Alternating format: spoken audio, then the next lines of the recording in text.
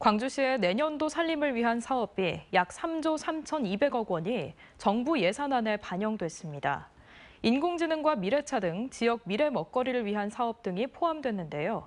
몇 가지 주요 사업들은 이에 반영되지 못한 채 정부와 정치권을 설득해 확보해야 합니다. 김초롱 기자의 보도입니다. 내년 정부 예산안에 광주시 사업비 3조 3,244억 원이 반영됐습니다. 신규 사업은 31건에 1,351억 원, 기존 사업은 363건에 3조 1,893억 원입니다.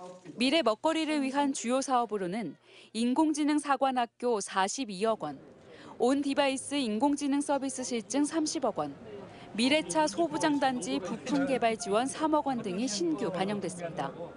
지난해 정부 예산안 반영액보다 1,818억 원, 비율로는 5.8%가 늘어났습니다.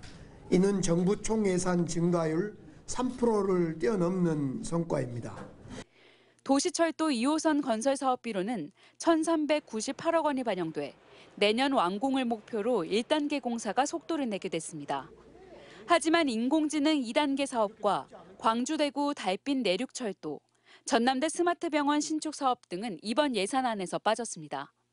광주시는 예비 타당성 면제 등을 통해 추후 국회에서 국비를 확보한다는 계획입니다.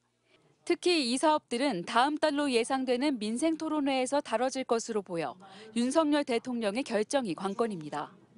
특히나 이제 인공지능 2단계 사업은 지역의 핵심 역전 사업이었잖아요. 정말 필요하던 기타 면제가 이미 시, 실현돼 했거나 실현될 수 있도록 이미 좀 정치력, 행정력을 발휘해서 결정이 되었어야 될 사안으로 매우 국가기관의 경우 AI 영재고등학교 사업은 정부와 광주시가 협의를 마치지 못해 예산안에 오르지 못했고 국립트라우마치유센터는 이전과 같이 일부만 국비 지원됩니다. 이들 기관을 100% 국비로 운영하기 위해서는 점진적인 국비 증액 노력과 함께 개정 법안의 국회 통과를 위한 정치권 설득 등이 장기적인 과제로 남게 됐습니다. MBC 뉴스 김초롱입니다. 언제 어디서나 내 손 안의 뉴스 광주 MBC 뉴스 유튜브 구독으로 함께하세요. 함께하세요.